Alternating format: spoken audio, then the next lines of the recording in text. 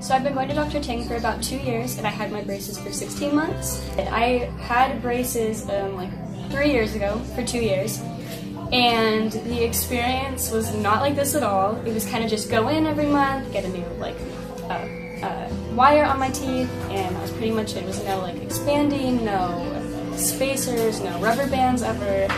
It was pretty much just like he wanted to get it over with. But like here, it's like so much nicer because it was like come in, conversations, ask me how I'm doing. My teeth look a lot better.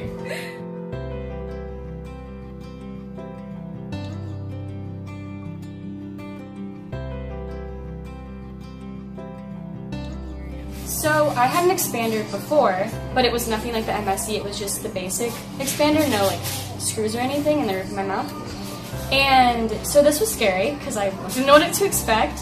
But in the long run, my smile looks so much better. Like even with the braces on, it just looks so much better. I didn't really have serious issues before, like with breathing, but breathing through my nose, I can tell like it's different. It's better.